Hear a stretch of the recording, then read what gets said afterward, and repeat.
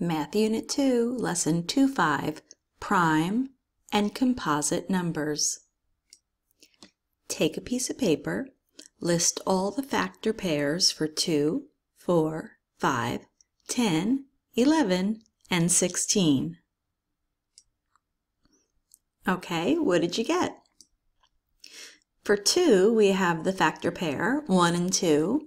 For 4, 1 and 4 and 2 and 2.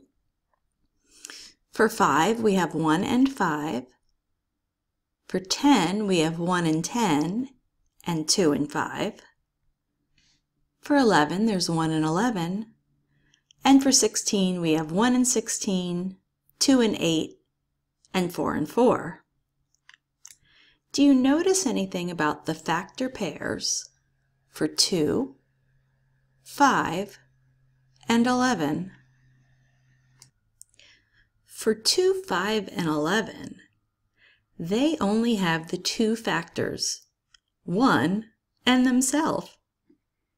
They are called prime numbers. When a number has more than two factors, it is called a composite number. Put your name on a piece of paper.